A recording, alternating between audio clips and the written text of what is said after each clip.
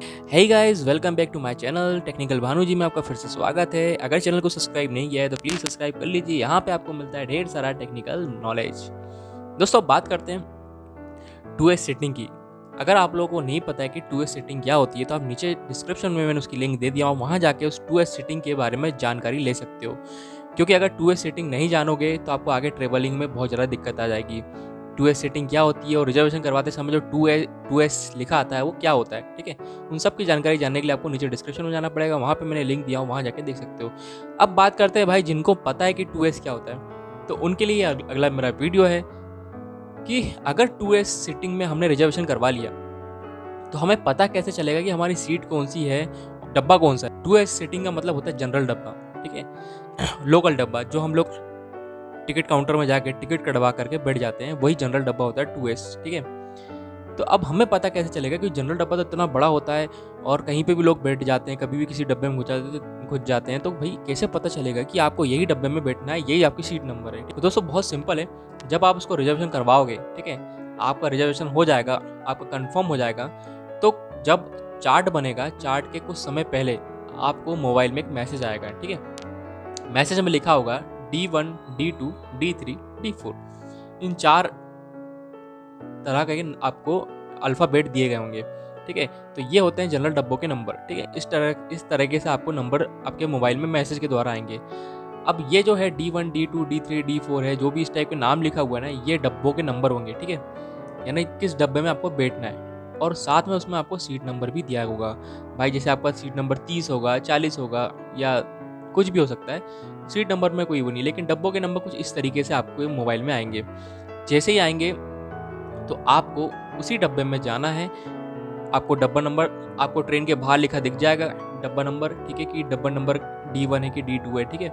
उस डब्बे में आपको जाना है और आपकी सीट नंबर ढूंढना है और वहाँ जाके बैठ जाना है। लेकिन लेकिन दोस्तों, अभी एक बात और मैं आपको बता दूँ, जो मेरे साथ घटित हो चुका है, क्योंकि मैंने एस टू एस में काफ़ी सफ़र किया रिजर्वेशन करवा के। तो मैंने जो बहुत सारी चीज़ें देखी, वो आपको मैं बता रहा हूँ। कई ट्रेनों में D one D two D three नहीं लिखा रहता, क्योंकि जनरल डब्बे रहते हैं तो उसमें D one D two three नहीं लिखा रहता। तो वहाँ कैसे पता करेंगे कि भाई डी वन डब्बा कौन सा है डी टू कौन सा है, या जो हमें मोबाइल में मैसेज में आया है डब्बा, वो कौन सा है? दोस्तों, उसके लिए मैं आपको बता देता हूँ।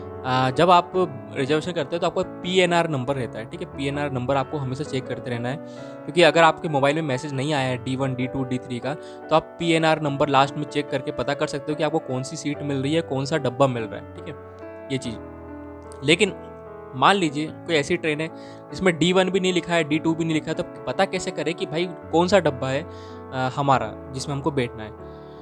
तो मैं आपको बहुत सिंपल तरीका बताता हूँ ठीक है? यहाँ पे आपको एक एप्लीकेशन डाउनलोड करना है। ये देखिए, आपको मोबाइल में दिख रही होगी। एक्सीगो करके जो आपको एप्लीकेशन दिख रही है, यहाँ पे आपको उसको डाउनलोड कर लेना है। डाउनलोड करने के बाद दोस्तों, आपको अगर आपने टिकट इससे बुक करी तो बहुत अच्छी बात है। नहीं किए तो आपको यहाँ पे ट्रेन नंबर डालना है। ट्रेन नंबर डालने का दोस्तों, आपको यहाँ पे काफ़ी कुछ दिखेगा। यहाँ पे आपको जाना है कोच पोजीशन पे, ठीक है? कोच पोजीशन जब आप क्लिक करोगे तो आप नीचे देखोगे दोस्तों, यहाँ पे ट्रेन के डब्बे आ रहे हैं बारीक बारीक से। दिख रहे होंगे आपको। अब आपको यहाँ पे ये ध्यान देना है कि आपको मोबाइल में कौन सा डब्बा नंबर आया है, ठीक है? तो जब भी आप ट्रेन में चढ़े तो सबसे पहले उसे चेक कर लें।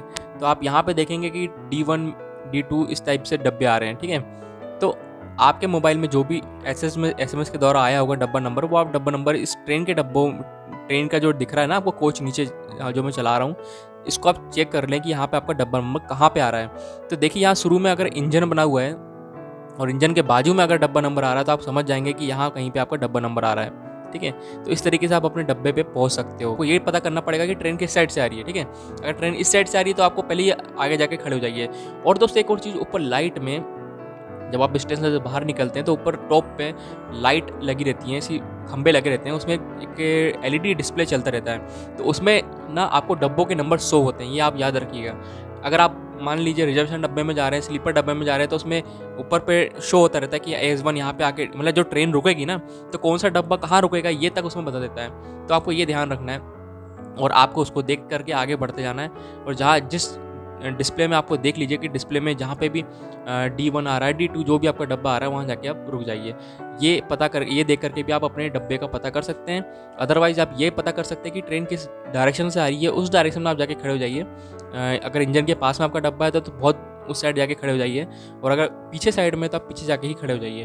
तो इस तरीके से आप अपने डिब्बे के पास सही ढंग से सही समय पे टाइम पे पहुँच सकते हो और अपनी सीट पकड़ सकते हो। तो दोस्तों ये थी आपके लिए एक इन्फॉर्मेटिव वीडियो। तो अगर आपको वीडियो अच्छा लगा हो तो ऐसी बहुत सारी टेक्निकल नॉलेज टेक्निकल वीडियोस जानने के लिए आप मेरे चैनल को सब्सक्राइब कर सकते हो। साथ ही साथ अनबॉक्सिंग के वीडियोज़ भी आप ढेर सारे आते रहते हैं। तो चलिए दोस्तों, अभी के लिए बाय टेक केयर